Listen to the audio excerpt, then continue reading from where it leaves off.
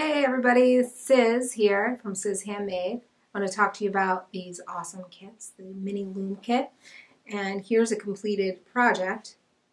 It's absolutely beautiful. Uh, this is 100% silk here in the middle. This is a clear quartz crystal and two, two looms that are attached. This is basswood. So this is what you'll finish in your kit, you're going to get everything that you need. So you don't need to worry about even something like scissors. You get these really awesome unicorn scissors. You'll get a tapestry needle, so you know it's the right size. And it has a blunt tip, so you don't have to worry about poking yourself with it, which is awesome. You'll get one of these crystals. You get the orange calcite crystal, clear quartz, or the aquamarine. And then you'll get a selection of 100% silk yarns. Five of them are worsted weight.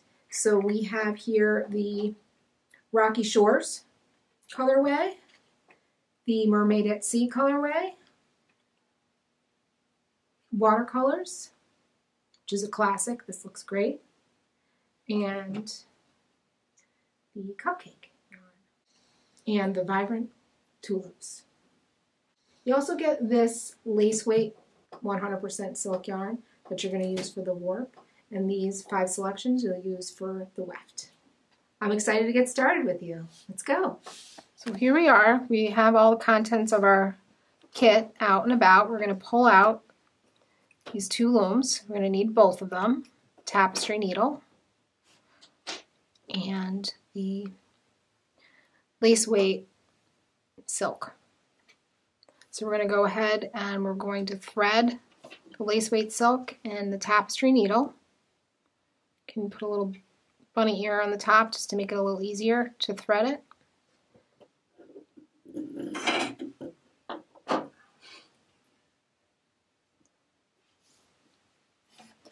And you're just going to thread the needle so that the yarn is, in a sense, in half, but you're going to want a little bit of a tail at the end. You're going to want about a foot or so.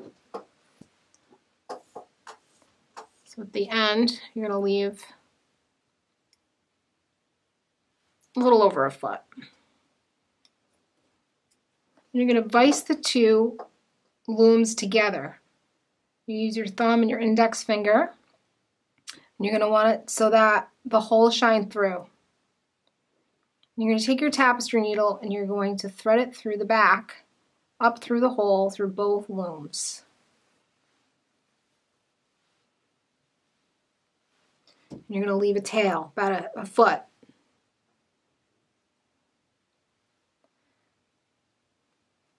It doesn't matter if you're right or left-handed. If you're left-handed, you just go to the left. You're right-handed, go to the right. You're going to count 12.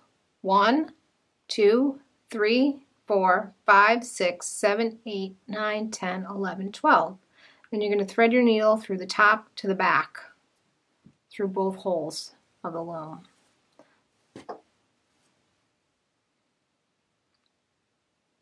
And then I'm holding the yarn so it doesn't slip all the way through with my index finger. So you're just going to want to hold that there and let the yarn be a little bit snug so it's almost like spongy in a sense. Then you're going to come up to the right or the left and you're going to come up to the next side on the top. Then you're going to cross it over on the left and you're going to go down.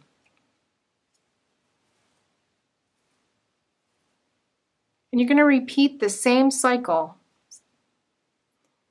Let me show you that again. You come up through the back here, up. It's a very repetitive process. You're going to want to take your time. Your instinct might be that you want to want to go fast, but if you go fast, you might make a knot. So take your time and you come up through the down through the back in the same repetitive fashion. You're going to want to, at some point, give yourself a little bit more yarn by pulling up See if I can show that to you in the space, just so you have a little bit more room. We continue. Up.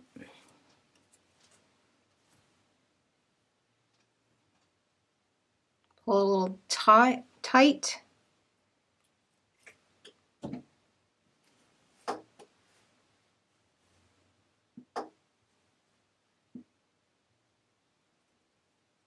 You keep rotating it around, repeating that same pattern.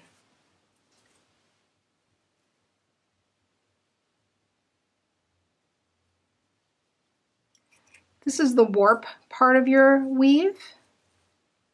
This is the structural component of the weave. It's what holds everything together. So you're vicing these two looms together. You're coming up through the back and you're essentially having a warp on the top and the bottom. That's what you want to do.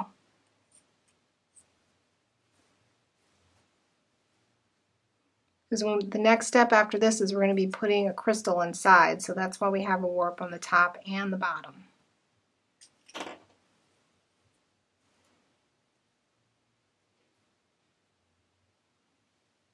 And this process gets easier because the yarn becomes shorter and you've repeated this pattern a few times, you start to get some muscle memory. And you can just start to go with the flow and get into a rhythm.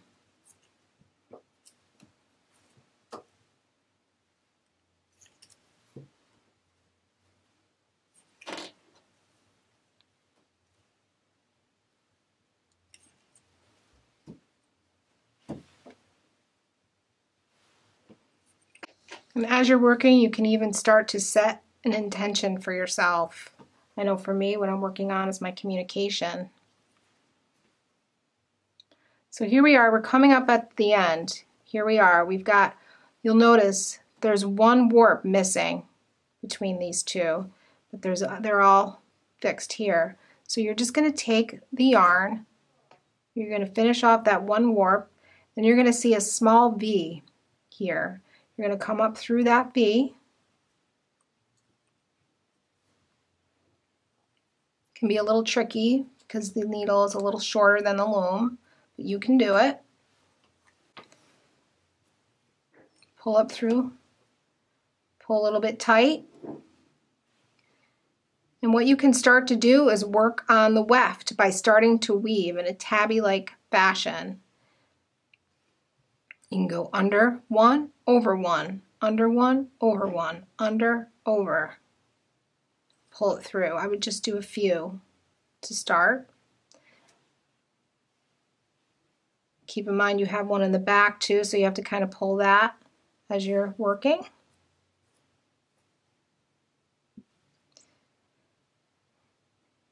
We're focusing the yarn in the center of the piece. I'm going to go around a few times.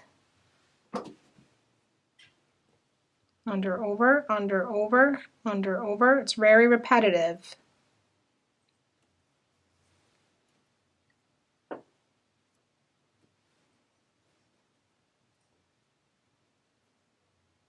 Over, under.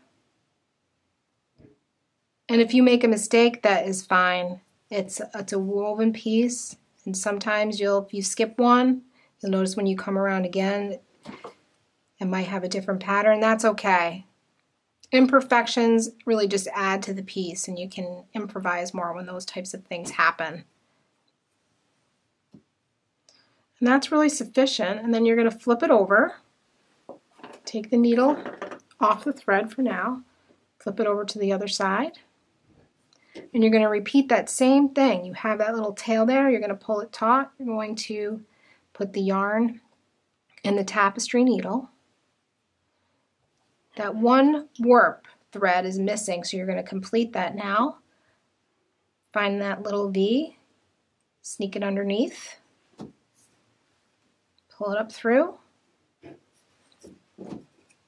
and voila, there it is. You can start to weave. You can pick anywhere in your weave and you just go up and down all the way around a few times.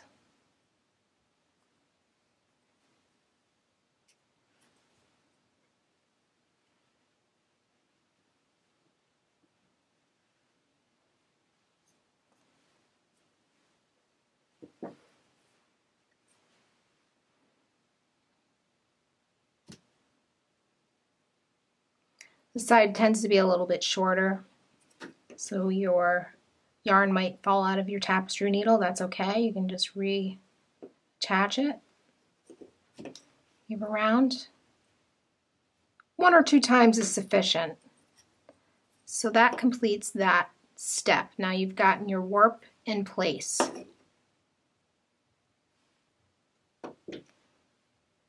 You can go ahead and take your needle off of your loom. Grab your scissors and go ahead and just cut that extra string right off. I should say yarn.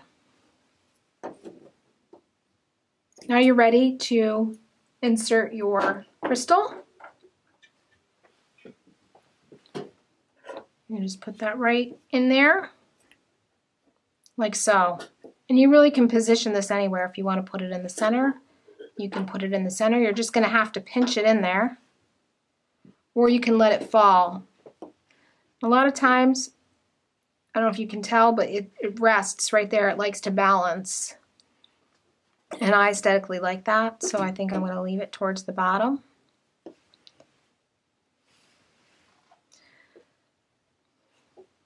Then we're going to go ahead and grab our worsted weight yarn.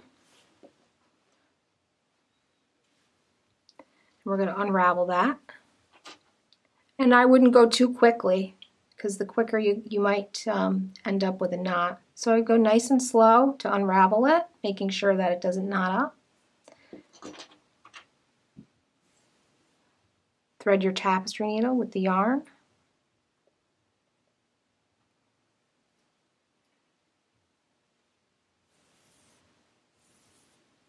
And this yarn is just so beautiful and it really emulates all the different colors of the chakra and the rainbow and light.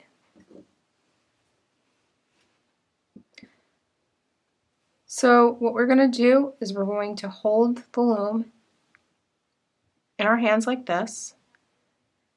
We're going to take your, a finger in the back to hold the crystal in place and your thumb on the top. You're going to pick a spot on the bottom and you're going to come up through in between the two warps. There's two on the top and two on the bottom. So between those four warps. You're going to start to see these warps not as four in this in instant, but two, because we're going to start to crease these warps together as we embed the crystal inside. And I know this sounds complicated, but it's really the same pattern being repeated over and over again. So we're going to come up through those warps and leave a little tiny tail. And then we're going to come down those same warps. And this is your weft. This is kind of like the, the muscles of your piece. And the warp is like the bones in a sense. And so you're going to come up the next one. You're going to go either in a clockwise or counterclockwise manner and then you go down both layers. And then you come up.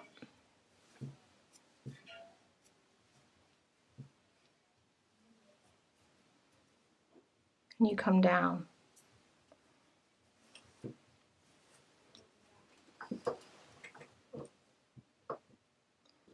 You want to try and keep the yarn as close to the crystal as you can.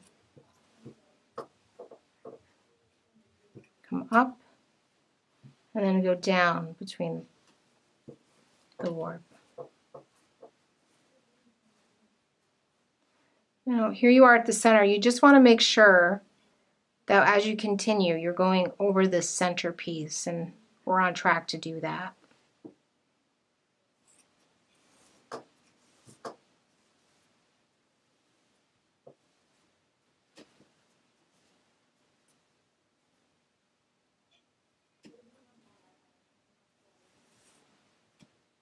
You might notice some tension in your arms and in your fingers.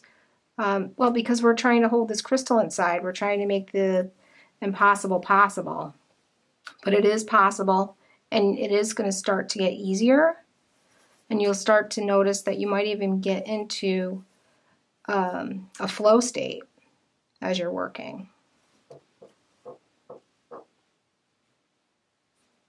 Because it's really the same pattern that you're repeating over and over. You're going up and then you're going down. You're handling the yarn, making sure that it doesn't get knotted up. So that might dictate the pace of how fast or slow that you're going.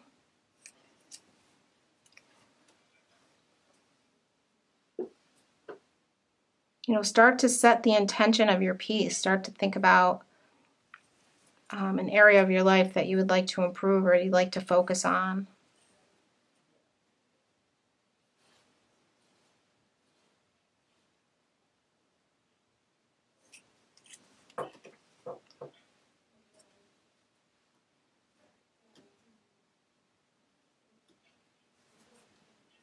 This is a tabby weave. It's just going up and down, over and under. Repeating that pattern over and over again.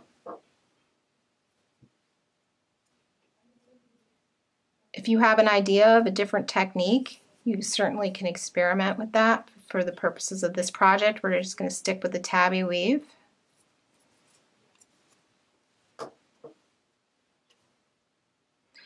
So I'm getting to be close to going around once.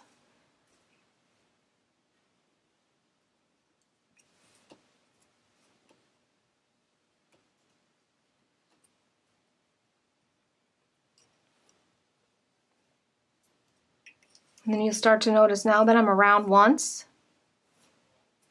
this time around, instead of going over, we're going under. So it's the opposite direction now. And the more and more you do that, you start to see a pattern emerging. Kind of reminds me of a ripple in the ocean or a shell.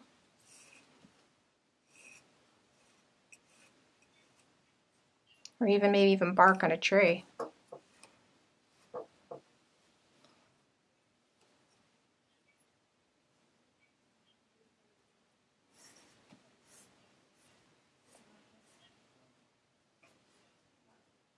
And this silk is so beautiful to work with. It's so soft.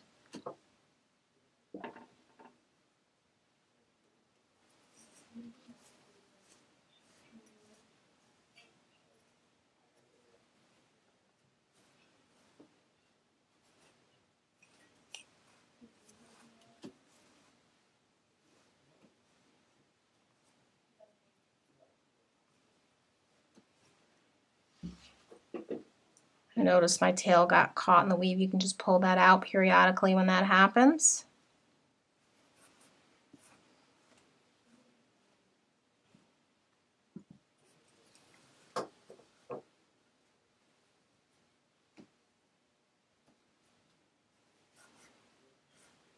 And we made it around. This is probably the hardest part. It's starting to get easier at this point. And what you'll start to see is this variegated yarn takes on its own rhythm and you'll start to see its own pattern emerging as you work through and that's really exciting.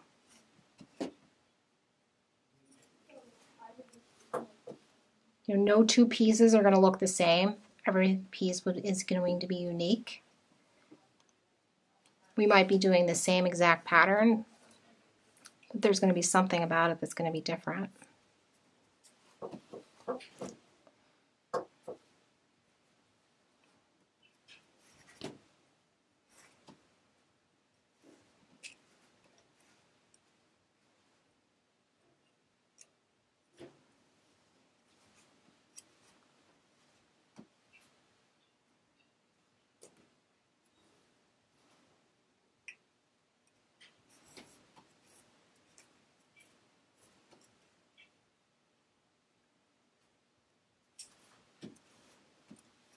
This particular crystal that is being used is the orange calcite, orange calcite, and it's great to spark creativity. So maybe I'll have some sort of creative thought as I'm working on this, a new idea.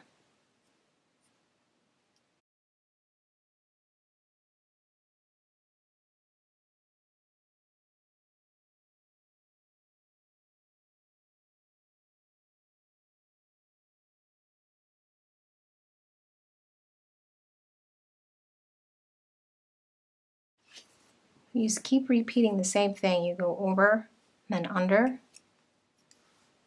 over, and then under.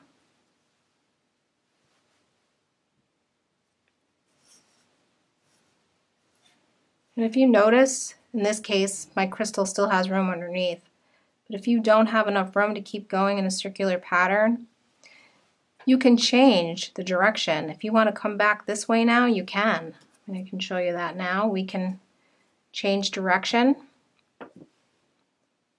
That is very common that your piece as you're working on it might get knotted up, so just keep that in mind.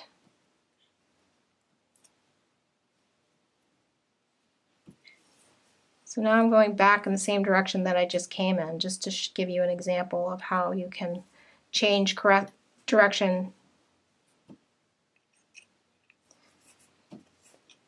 And I just love the the analogy with life. I mean, how oftentimes have we thought we were going to go in one direction and then we end up going in another? It's it's completely organic and it's part of nature and it's just part of being human. You have to remember that we all go through those types of things.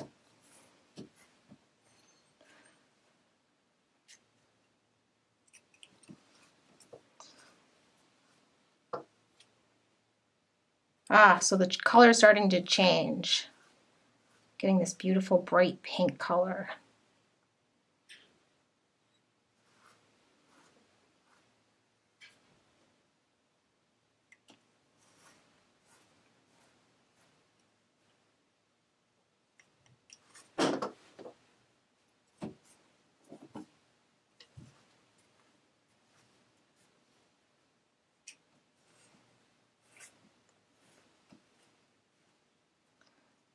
So you'll do that several times. Getting further along. There's just some things that are starting to irk me that I just want to talk to you about. Um, in the back, there's a few. I got a little loop here. I'm not too happy about how that looks. My yarn broke in between, and that can happen. I just picked up and kept going. Now I have two little pieces of yarn that are sticking out the back. And then this other piece from when I first started it's just kind of hanging out too. So it's really a quick solution.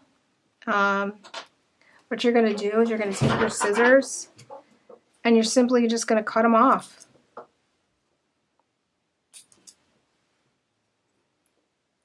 And I just think it looks so much better now. And then I'm just going to keep going. So I want to have positive thoughts. I don't, every time I see that or touch that, I don't want to think, oh, I don't like how that looks. So I'm just going to take care of it and I'm just going to cut it right off. It's that easy. I'm just going to continue around.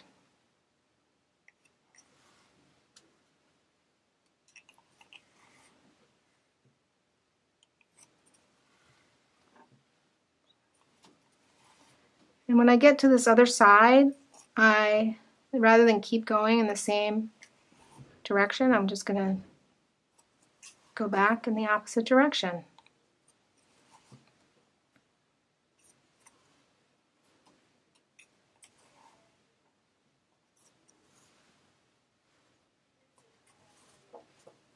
Right here. Now I'm going to come start coming back around this way.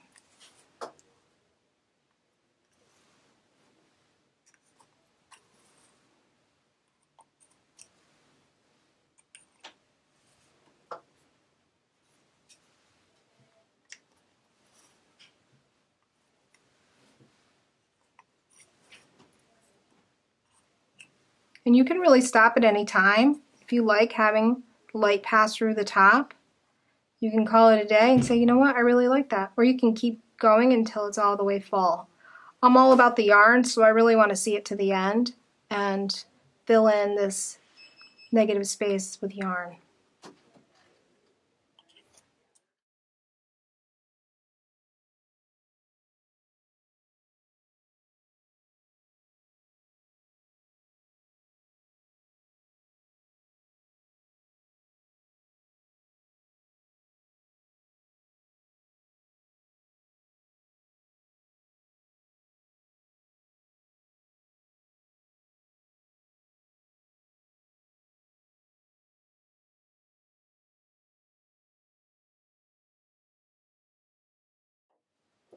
Right there, the yarn broke off. I'm just going to say it was ready for me to be done. Simply cut it off.